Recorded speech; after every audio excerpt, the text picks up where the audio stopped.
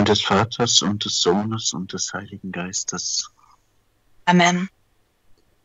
Verwehne für die armen Seelen, dritter Tag. Die große Pein der armen Seelen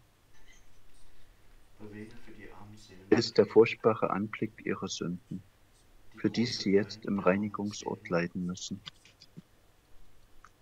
In dieser Welt kennt man die Hässlichkeiten der Sünde zu wenig, wohl aber im anderen Leben. Ewiger Vater, heiliger Gott, heiliger starker Gott, heiliger unsterblicher Gott, ich liebe dich über alles, weil du die unendliche Güte bist und bereue von ganzem Herzen, dich beleidigt zu haben.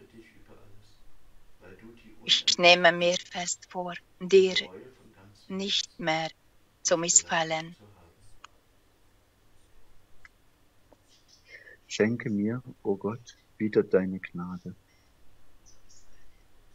Erbarme dich meiner und erbarme dich auch der Seelen, die am Ort der Läuterung leiden. O Maria, Mutter Gottes, komme den armen Seelen mit deiner mächtigen Fürsprache zu Hilfe. Durch deine mächtige Fürbitte möge sie Christus, dein vielgeliebter Sohn, unser Herr und Gott, teilnehmen lassen an seine Herrlichkeit und Seligkeit. Amen. Vater unser, der du bist im Himmel, geheiligt werde dein Name, zu uns komme dein Reich. Dein Wille geschehe wie im Himmel, so auf Erde. Unser tägliches Brot gib uns heute und vergib uns unsere Schuld wie auch wir vergeben unseren Schuldigern. Und führe uns nicht in Versuchung, sondern erlöse uns von dem Übel.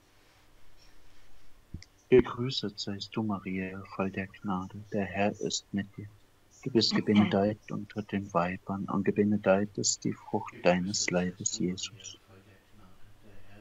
Heilige Maria, Mutter Gottes, bitte für uns arme Sünder, überflute die ganze Menschheit mit dem Gnadenwirken deine Liebesflamme, jetzt und in der Stunde unseres Absterbens. Amen. O Herr, gib ihnen die ewige Ruhe.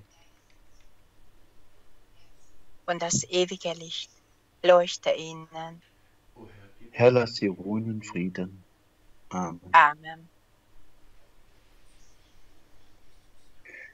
Der heimgegangenen Seelen dein, die deinem Herzen teuer